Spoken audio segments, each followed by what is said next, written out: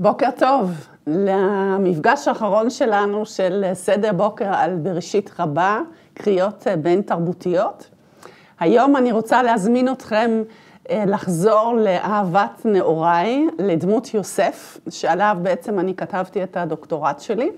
והיום אני רוצה לסיים איתו ועם הסיפור שלו מול אשת פוטיפר, את סדרת המפגשים שלנו. כבר בסיפור המקראי ברור שיש לנו כאן משהו בין תרבותי. יוסף יהודי, היא מצריה, היא האישה המבוגרת, הוא הנער הצעיר שבא כעבד, נמכר כעבד לבית פוטיפר, ושם הם נפגשים. וכבר הסיפור המקראי מספר בצורה הקצרה, האופיינית לו, שהיא התאהבה בו, הוא היה נער יפה, והיא לא יכלה לשכוח ממנו, ורדפה אחריו יום-יום, דיברה איתו וניסתה לשדל אותו. עכשיו, אני קראתי לשיעור שלנו היום רומן חוצה גבולות. אבל באמת מדובר על רומן? הרי בסיפור המקראי, יותר הסיפור הוא בעצם של אונס, נכון? אישה ש, שכופה את עצמה על הנער, ומצידו של יוסף אין כאן רומן, אין כאן אהבה. להפך, הוא צדיק גמור והוא מסרב כל הצעה שלה. כן? ואין לי בעיה, אתם כבר שמתם לב שאני פמיניסטית, ואין לי בעיה בכלל לבקר כאן את הדמות הנשית, ולהגיד, יש כאן בעצם סיפור של, של אונס. אבל למה בכל זאת קראתי לשיעור שלנו היום רומן חוצה גבולות? עכשיו, המפתח הוא הפרשנות המאוחרת, ואנחנו כבר ראינו בשיעור השני שמטרונה, אישה יהודיה עם שם לטיני, כבר תהתה אם באמת יכול להיות שהנער יוסף עמד ב... ביצר שלו. האם ייתכן להניח שבאמת הסיפור, כפי שהוא מסופר בתורה, הוא אכן כך היה. אולי צריך להניח שהתורה מייפה את הסיפור, ולמעשה היה שם רומן, וגם יוסף התאהב בה, והוא בעצם גם התפתה מהצד שלו. והתעניין בה. כן? מטרונה העלתה את השאלה הזאת, והיא אפילו קבעה, עושה הדבר הזה, הוא היה עושה את זה. כן? עכשיו, אז בשיעור השני אנחנו ראינו שהשאלה של המטרונה מקבלת תשובה די נחרצת מצד רבי יוסי, שמראה לה שהתורה דווקא לא מכסה על חטאים, ולכן אם התורה מספרת לנו על, על משגלים אחרים לא נאותים, אז אם היה כאן משהו, היא הייתה מספרת גם במקרה של יוסף. ומכאן שהוא באמת היה צדיק, כפי שהתורה מספרת. אלא מה? מעניין מאוד שדווקא חכמים בתקופה האמוראית הטרילו גם הם, כמו מטרונה, לתהות אם אולי בכל זאת היה כאן רומן הדדי. ולא, ולא רדיפה חד צדדית. כן? ואנחנו, המדרש מציג לנו התפתחות דרמטית מהתקופה התנאית, ששם ממש הניחו שהוא היה צדיק ולא היה מעוניין, לתקופה האמוראית, ששם פתאום ההנחה היא הרווחת אפילו בין החכמים, שיוסף כן התפתה, ובדרך לא דרך בסוף לא, לא הזדמן לו לשכב איתה, אבל עקרונית הוא בעצם התפתה. ומה המדרש מספר? הוא קודם מציג את רבי יהודה ורבי נחמיה, שהם זוג שלעיתים קרובות מופיע ביחד במדרש, ולפעמים גם השפה שלהם היא דומה, השפה של הפירוש שלהם, גם כאן. אז אחד מהם מניח שכהיום הזה, שיוסף בא לבית ואף אחד מאנשי הבית לא היה שם, אז יום נילוס היה, כן, בהקשר של הסיפור המקראי, איזשהו חג מצרי, ולכן הוא הגיע לבד לבית, כי הוא כיהודי לא השתתף בחג הזה של הנילוס. והוא, כולם הלכו לראות, והוא בא הביתה לחשב חשבונותיו של רבו. כן, ורבי נחמיה, עכשיו תשימו לב, מאוד מעניין, הוא עושה אקטואליזציה של החג, והוא אומר, יום תיאטרון היה, כן? משהו יווני של התרבות היוונית, ויוסף אה, לא, הלכה, לא הלך לראות את זה, הוא בא הביתה לחשב חשבונותיו של רבו.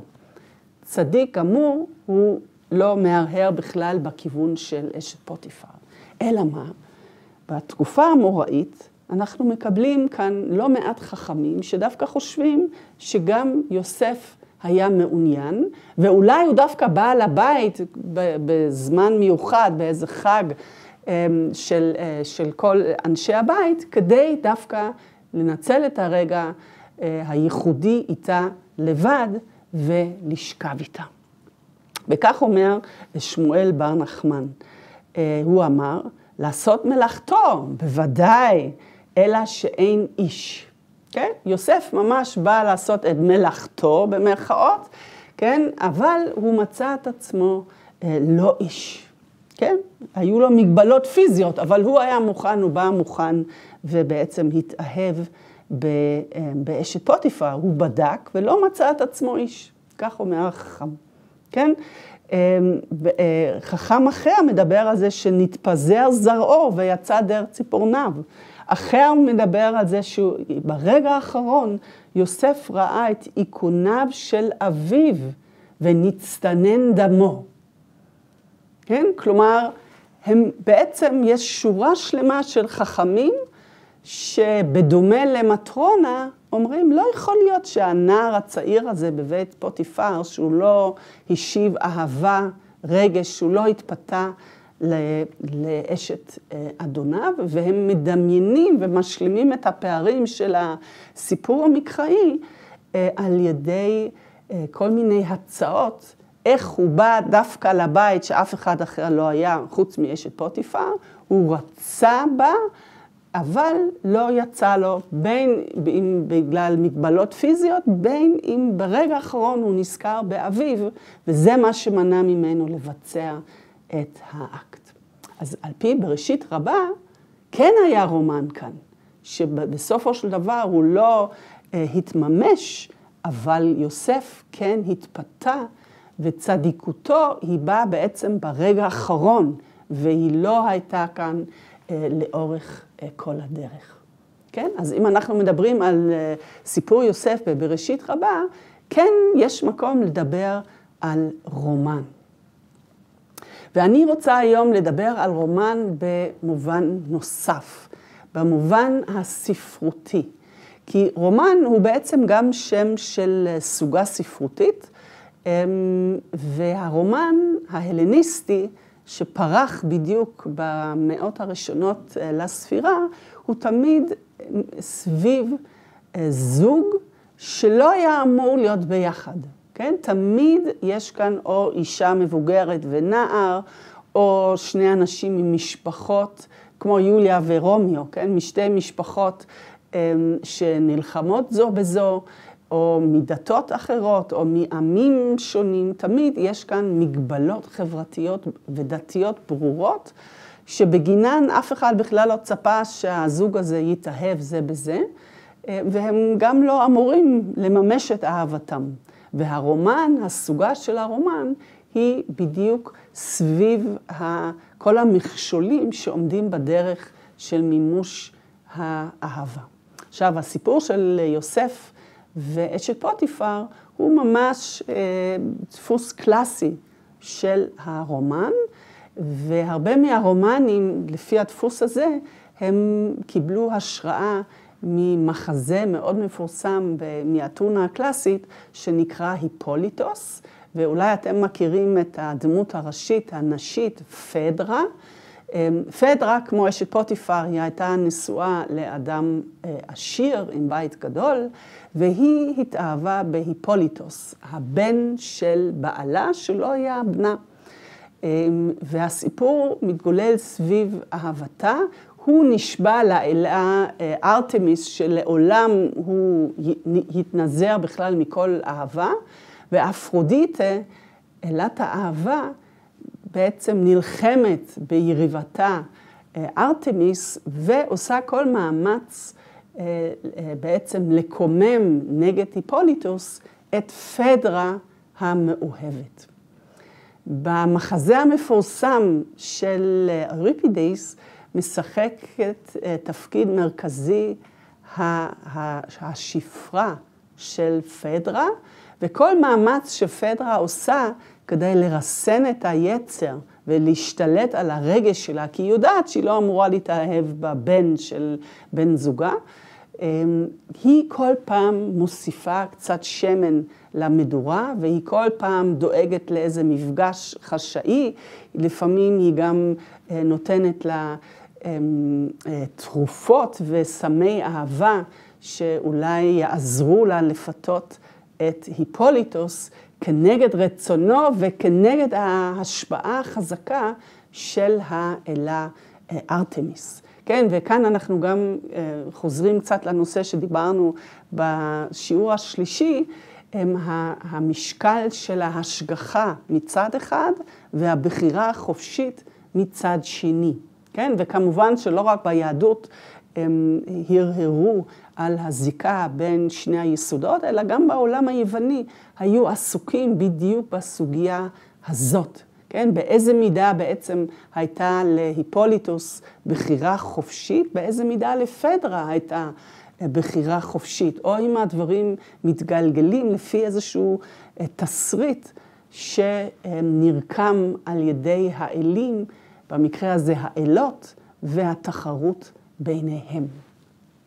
עכשיו, אולי מעניין אתכם אה, לשמוע שהרומן אה, של פדרה והיפוליטוס היה כל כך מפורסם עד כדי כך שבעזה, כן, בעזה, שבתקופה הרומית היא הייתה עיר פורחת, אה, משגשגת, עיר נמל גדולה מאוד שמשרה הרבה אנשי תרבות, אנשי רוח אליה, ושם אנחנו יודעים שהיה ציור ענק של פדרה והיפוליטוס.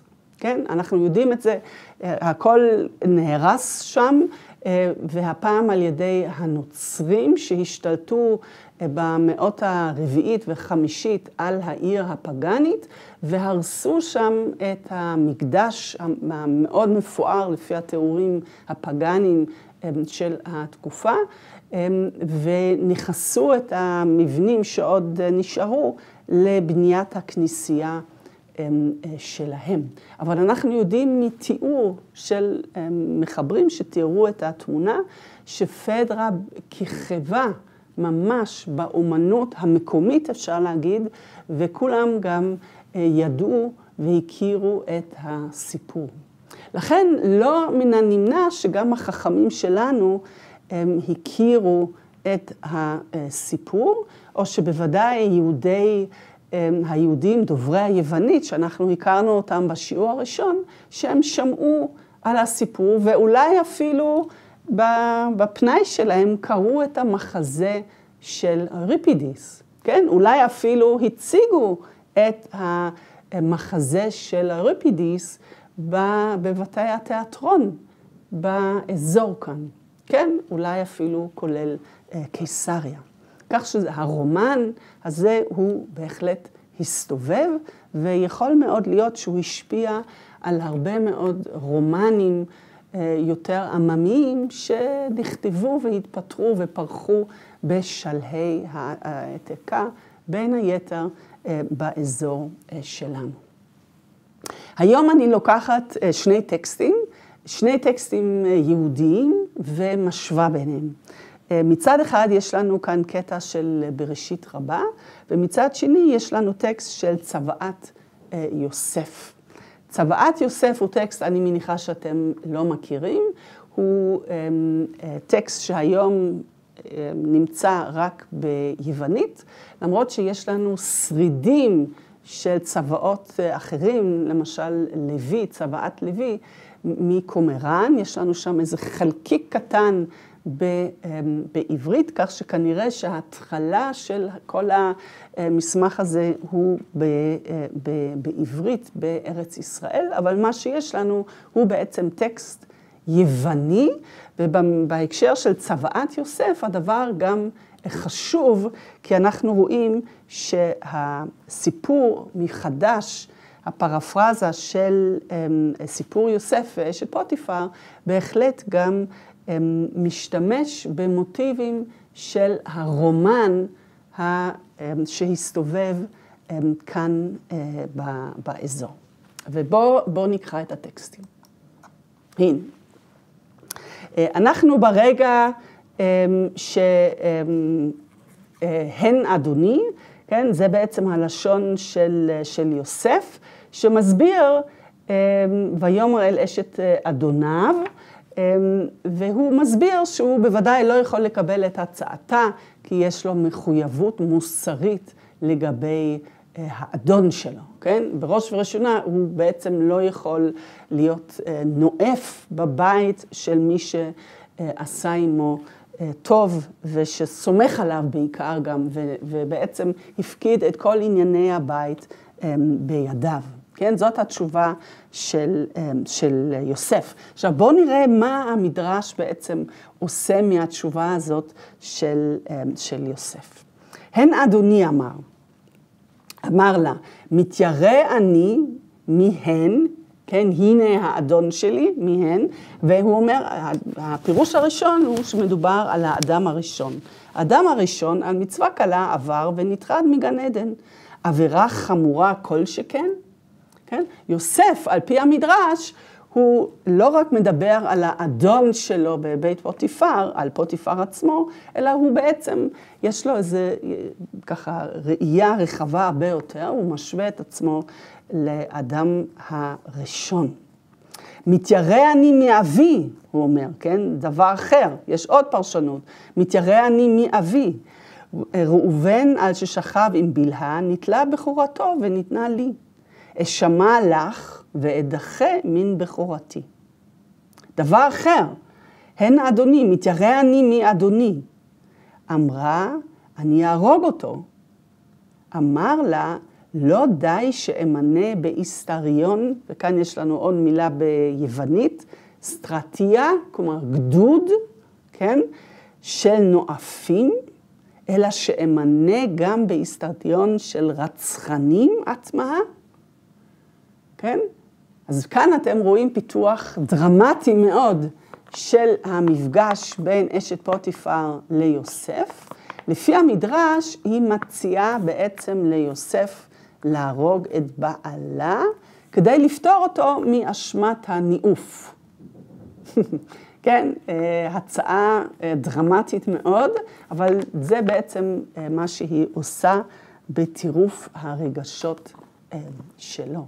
עכשיו, ברור לכם שלפירוש הזה אין בסיס בתורה, נכון? אין כאן זיקה בטקסט המקראי, וברור שהמדרש בעצם משלב מוטיבים שהוא הכיר מהסביבה. ואם תסתכלו על הטקסט הבא, הנה ממש בסוף, אמ, בצוואת יוסף, ותוסף לעת אחרת, ותאמר אליי, יוסף כאן מדבר בגוף ראשון, כביכול לילדים שלו, ונותן להם לקח מהחיים שלהם, משלו, אליי, אם לא תחפץ לזנות עמי, אנוכי אהרוג את בעלי, ואקח אותך לי לבעל. כן? עכשיו, ברור מאוד שצוואת יוסף, ואנחנו לא בדיוק יודעים מי כתב את הגרסה היוונית ואיפה איפה היא בכלל התפתחה וצצה. אני חושבת שהיא התפתחה בארץ ישראל, אולי אפילו באזור קיסריה, כי מאוד מעניין שגם אוריגנס וגם אויזביוס, שני אנשי כנסייה מקיסריה, מכירים את צוואת השבטים ומצטטים אותם, כך שברור שהטקסט הזה כבר היה במאה השלישית, היה בנמצא בקיסריה בגרסתו היוונית. אבל זה טקסט יהודי באופן ברור, כפי שאנחנו עוד רגע נראה, כי צוואת יוסף מציג את אשת פוטיפר גם כמי שמעוניינת לפתות אותו על ידי זה שהיא אומרת, אם אתה לא, אם מפריע לך שאנחנו מצרים, שיש לנו אלילים, אז אני גם יכולה אה, לנטוש אותם, לא, לא, לא כל כך אכפת לי מהאלילים. אני לא רק שאני אנטוש אותם, אני גם אשכנע את בעלי לנטוש את האלים, ואז בעצם אנחנו יכולים אה, להזדווג כיהודים, כן? ומכאן ברור מאוד שיש לנו טקסט יהודי שכבר מאבד את המוטיבים של הרומן שמסתובבים בסביבה. כלומר, מה הטענה שלי? הרב-תרבותיות של המדרש היא מתבטאת בשילוב של מוטיבים מהרומנים, אבל לא בדרך ישירה, אלא כבר בתיווך של טקסט יהודי יווני שאנחנו מכירים שהוא בידיים שלנו בצורת אה, צוואת השבטים, כן? כלומר, יש לנו כאן קבוצה של אה, יהודים דוברי יוונית, שמן הסתם, היות ושפת אימם היא יוונית, הם הכירו גם משהו מהספרות אה, היוונית, ובוודאי הכירו את הרומן המפורסם בין פדרה והיפוליטוס, והם כבר עשו את הצעד לשלב מוטיבים של הרומנים ההלניסטיים בסיפור המקראי, והחכמים, דוברי העברית, כנראה שמעו וקיבלו את המוטיבים הללו כבר בתיווך של אותם יהודים דוברי אה, אה, יוונית, ושילבו אותם בפירוש שלהם אה, העברי לתורה בעברית, כן? אבל אי אפשר להבין את הפירוש שהיא בעצם מציעה אה, להרוג את בעלה בלי התיווך של התרבות היוונית. במקרה הזה, התרבות היוונית היהודית. אמ, אמ, מה עוד היא אומרת, אמ, לפי המדרש? ואם הדבר הזה תרצי, אה, כך אומר אמ, אה, יוסף לאשת פוטיפר, הן אדוני. עכשיו, כאן יש עוד פירוש מאוד מעניין. הן אדוני בתורה, הנה אדוני, אבל הוא מפרש את זה בעצם, היידה לקומך, הרי הוא, הוא אה, לפנייך. ורבי יצחק אומר, חלב עיזים שחורות וחלב עיזים לבנות, אחד הוא. כן? כלומר, אם היא בעצם אה, מחפשת אה, תשמיש, אז זה בעצם, יוסף אומר, זה אותו דבר, כן? לשכב איתי ולשכב עם בעלך זה אותו דבר, אם, אם זה מה שאת מחפשת, בבקשה, זה אה, אותו דבר. עכשיו, מבחינתי, המפתח כאן, המעניין מאוד של הפירוש הזה, הוא בעצם בהן, כן?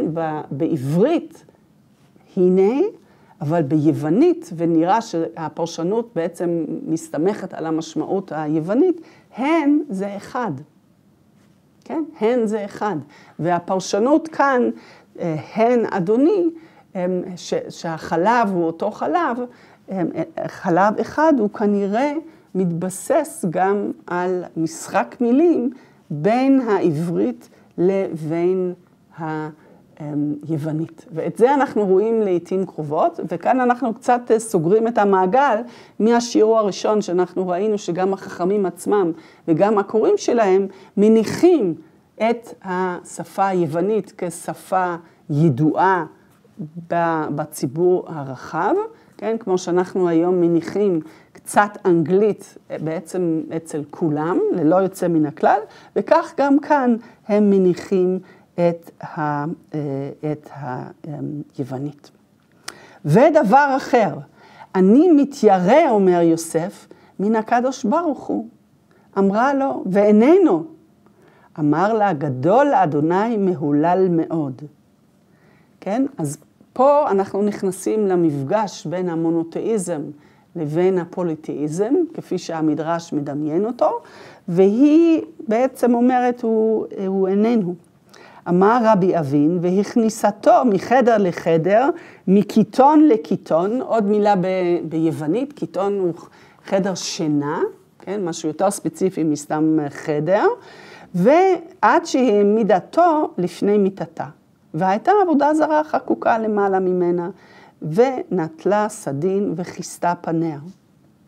כאן אתם רואים את המפגש שוב בין הפוליטיזם לבין המונותאיזם, ובדיוק הסצנה הזאת שהמדרש מדמיין, יש לה מקבילה מדויקת, שוב כאן בצוואת אה, אה, יוסף. כן, כאן בעצם אה, היא, היא אומרת, אם חפץ אתה כי יעזוב את האלילים, שכבני, ואנוכי אפתה את בעלי לסור מאחורי האלילים, ונלך בחוקות אדוני אלוהיך.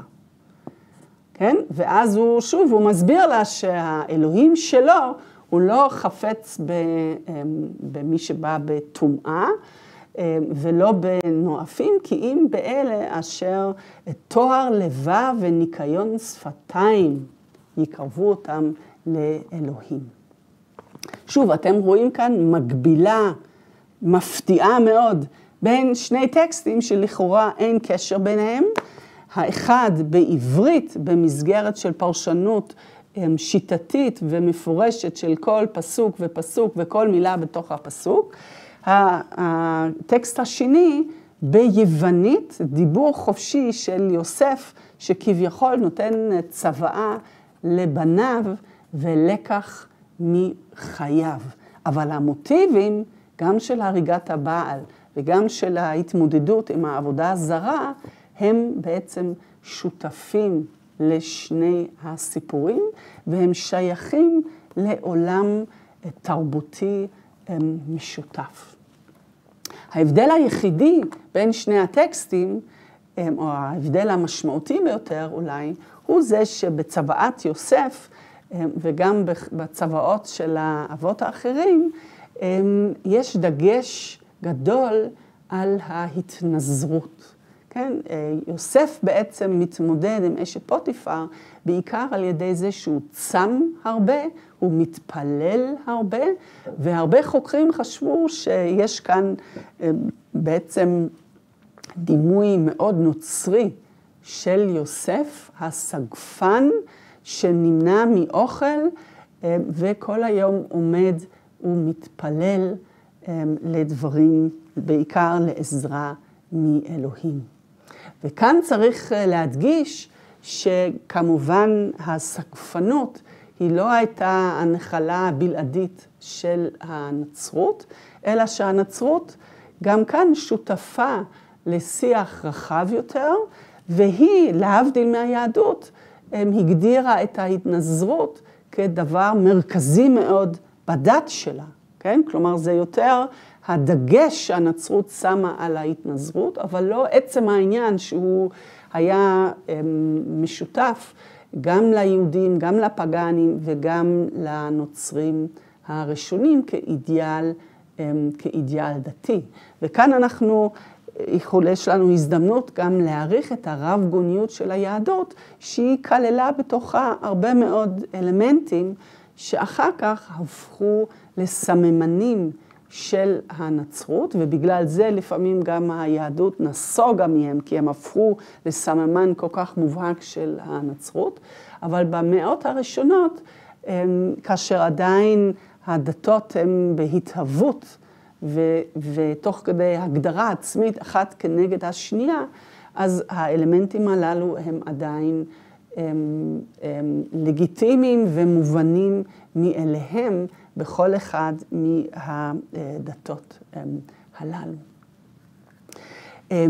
אז לסיכום אני אומר שעצם העניין של המדרש, מה בדיוק קרה שם, ואם ייתכן שגם יוסף התפתה, ומה בדיוק היו דרכי הפיתוי של אשת פוטיפר, כל אלה הם בעצם שאלות שנובעות לא כל כך מקושיות במקרא עצמו, בטקסט המקראי עצמו, אלא מהשאלות של הזמן של זמנם של החכמים, שהרומן היה פופולרי מאוד, והוא היה, הפך לסוגה, סוג של בסט סלר, שהרבה אנשים קראו את הספרות הזאת, שהייתה בוודאי יותר קלה מהספרות הקלאסית, וחכמים כאן פיתחו את הסיפור של יוסף על פי הדגם של הרומן ההלניסטי הנפוץ, בתיווך כנראה של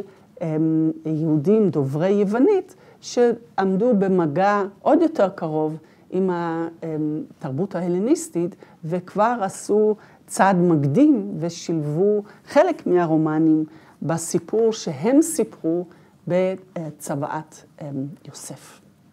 תודה רבה לכם, אני רואה שזמני תם, ואנחנו נעבור לשלב של השאלות. אני רואה שגם היום שמואל הוא הראשון שרשם שאלה. יפה מאוד. האם מסיפור יוסף ואשת פוטיפר ניתן להשיג שבתקופה שלפני הופעת היהדות הרבנית, יחסי מין וקשרי נישואים בין יהודים לבני עמים אחרים היו תופעה נפוצה? שאלה יפה מאוד. השאלה של קשרים בין עמים, נישואי תערובת, מה שנקרא, הם בעצם תמיד היו שאלה, תמיד היו על הפרק. ואנחנו יודעים, למשל, גם יוספוס מספר לנו על סוגיה כזאת במשפחה של, של הורדוס, שאחותו ביקשה להתחתן עם אחד הנסיכים הערביים שבאזור פטרה היום, וזה בעצם עורר איזשהו דיון, כן? וזאת משפחה שהייתה מאוד מאוד מאורה בחצר הרומית ועם הרבה קשרים ענפים ביותר בסביבה, כך שהסוגיה הזאת הייתה על הפרק כל, כל הזמן. ונכון שההנהגה של החכמים היא הדגישה יותר את הפן הפנימי של נישואין בתוך, ה, בתוך העדה, ובתוך העדה גם עם מגבלות. נעמי גרץ, הריגת הבעל כדי שלא יהיה ניאוף דומה לסיפור של דוד ובת שבע, אבל היוזמה להרוג את אוריה באה מדוד אחרי המעשה. יפה מאוד. אני מניחה שיש כאן גם שאלה באיזה מידה הסיפור של דוד ובת שבע אולי גם היווה מקור השראה לפרשנות על, סיפור יוסף.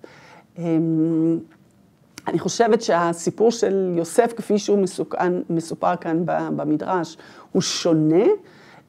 ו, וכמו שנעמי, כמו שאת אומרת, ההבדל באמת הוא גם העיתוי של, ה, של ההצעה. כאן האישה מציעה את הריגת בעלה בדרך למימוש אהבתה, כמשהו שאמור לפתות את, את יוסף. ויש לנו כאן משהו, אם אנחנו מדמיינים את ההצעה הזאת על התיאטרון, אפילו יש כאן משהו קצת קומי. כן? כי ברור שההצעה כזאת היא, היא, היא מגוחכת, וברור שהריגת הבעל זה חטא עוד יותר גדול מאשר ניאוף, ואי אפשר להציע חטא עוד יותר גדול כדי לשכנע בחטא יותר קטן. אז אני חושבת שיש פה גם אלמנט קומי שנכנס גם למדרש דרך ההצעה הזאת. רבקה שואלת, האם הסיפור המקראי במקרא עצמו הושפע גם מהמחזה היווני או מתרבות המזרח הקדום? יפה מאוד. עכשיו, מבחינת היחסים בין המחזה היווני לבין הסיפור המקראי, אז אנחנו יכולים להגיד די בוודאות שהסיפור המקראי על יוסף קדם למחזה של, של ריפידס. ואין לנו סימנים שמחברי התורה היו מעורים בתרבות היוונית, למרות שפה אולי יש מקום להזכיר שנגיד היהודים האלכסנדרונים שידעו רק יוונית ולא ידעו יותר עברית וקראו את התורה רק ביוונית, הם אפילו דמיינו שגם משה ידע יוונית ושהוא קרא את הומרוס ושהוא אימץ משם קצת מוטיבים, אבל התפיסה הזאת שאולי משה ידע יוונית וידע לקרוא את הומרוס והכיר שם גם מוטיבים ועיבד אותם, זאת כמובן תפיסה מאוד הלנוצנטרית, שלא יכולה לדמיין תרבות גבוהה מחוץ לתחום של התרבות היוונית. הרבה יותר סביר להניח את המקורות של המזרח הקדום בתורה, וזה לא תחום ההתמחות שלי, אלא שחבריי באוניברסיטה שמתמחים בזיקה בין התנ"ך לבין המזרח הקדום, בוודאי מצביעים הרבה מאוד זיקות. אני לא ערה לסיפור כל כך דומה לסיפור יוסף בנקודה הזאת, למרות שיש חוקרים שהצביעו על דמיון לסיפור מצרי. של, שמתמקד אבל יותר בסיפור של הקנאה בין הבן הקטן, הצעיר והמוכשר לעומת האחים שלו, לא מוכר לי סצנה, לא מוכרת לי סצנה כזאת בדיוק כפי שאנחנו רואים אותה במפגש בין יוסף לאשת פוטיפר. נתנאל שואל שאלה ארוכה. עושה רושם שתופעת הנזירות הייתה רווחת ביהדות בתקופת הבית, כפי שעולה מסיפור עם עם ינאי המלך ושמעון בן שטח, או כפי שעולה גם מהעצה שניתנה לפאולוס על ידי חבריו להיות ספונסר לקורבנות נזיר. כבר אמרו חכמים, הרואה סוטה בקלקולה, יזיר את עצמו מן היין. עם זאת, האם הסיפור על יוסף לא שימש את החכמים במדרש על מנת ללעוג לחכמים נוצרים שהתנזרו מנשים, ובהקשר הזה, שראה את, הדמו, את דמות אביו באיכונים שהיו נפוצים מאוד בחלונות הכנסיות, ויטראז'ים, כן? אז האיקונה, כפי שאנחנו מכירים אותה, דרך אגב, היום בעיקר מהכנסייה היוונית והרוסית, לא כל כך מהכנסייה הרומית. אני לא חושבת ש, שצריך לראות כאן משהו נוצרי. יש כאן, המילה כמובן עצמה היא יוונית.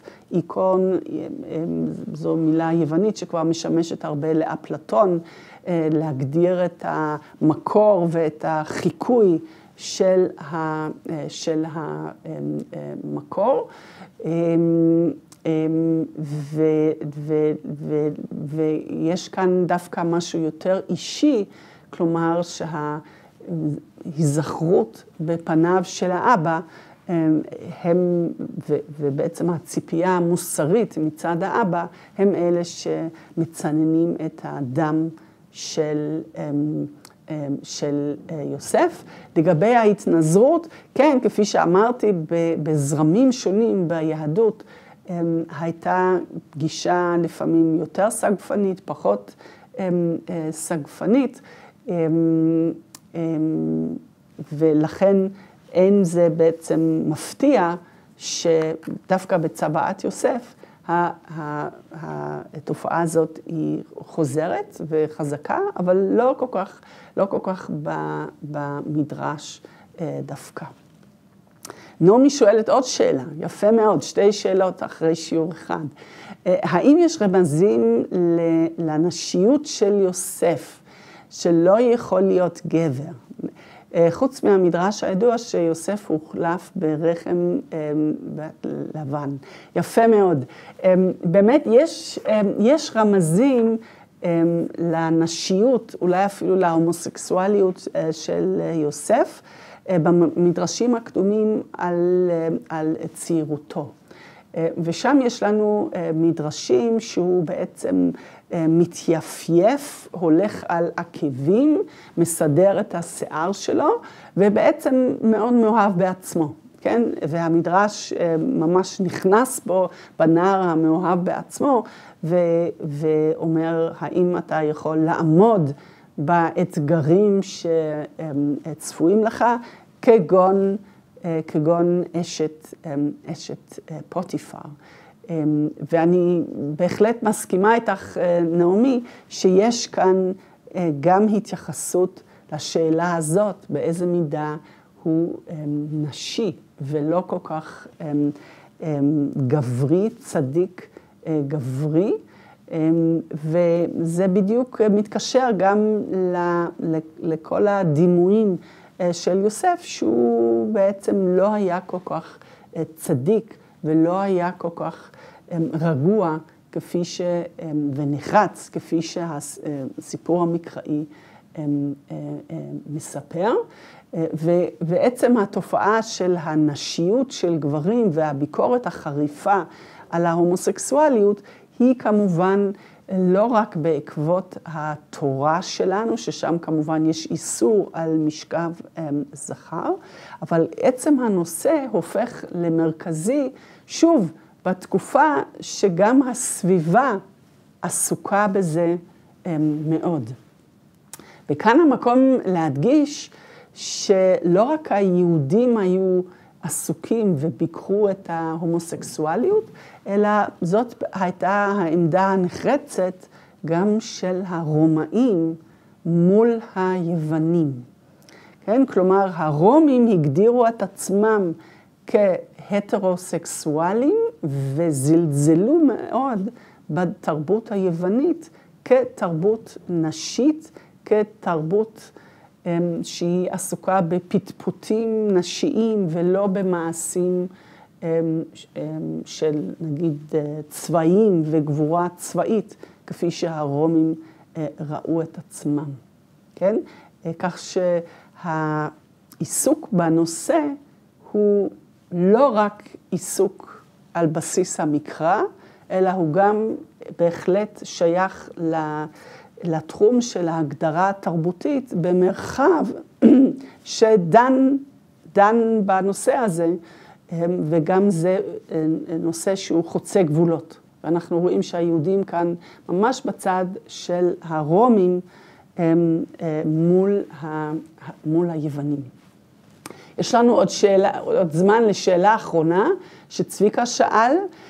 גם סיפור אברהם ושרה עם פרעה מכיל את עניין הריגת הבעל. לפחות את האיום. נכון, גם כאן יש לנו סיפור של,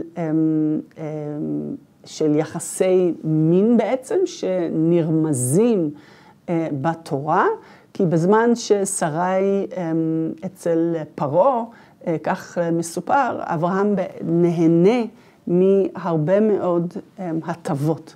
ומהסיפור ברור ש...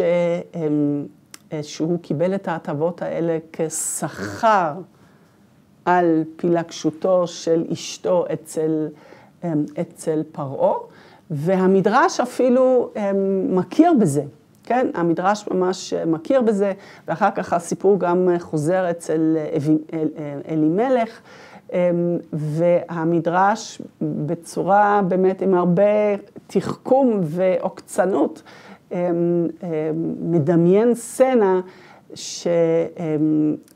שבזמן שיצחק נולד, יש שכנים שאומרים, או, הוא נראה דומה מאוד לפרעה, או, הוא נראה מאוד דומה לאבימלך, כן? והדבר צף ועולה במדרש, אבל שם הצדדים לא מטושטשים. שם הדבר בהחלט לא מתפתח לרומן, אלא לביקורת נוקבת גם בצד המדרש, בעצם על הפקרת שרי אצל פרעה, ופעם שנייה עוד אצל אבימלך, והמדרש אפילו מייחס לשרה ביקורת חריפה על בעלה שהפקיר אותה שם, לעומת סיפור יוסף, שלפחות במדרש מתפתח לרומן שבו יש גם הצד של יוסף, שכנראה כן התאהב וכן התפתה, וגם מבחינה ספרותית, שהמוטיבים של הרומן ההלניסטי השתלבו במדרש להעשיר את הקריאה של הסיפור. ובכל ההיבטים הללו, המדרש על יוסף ואשת פוטיפר הוא שונה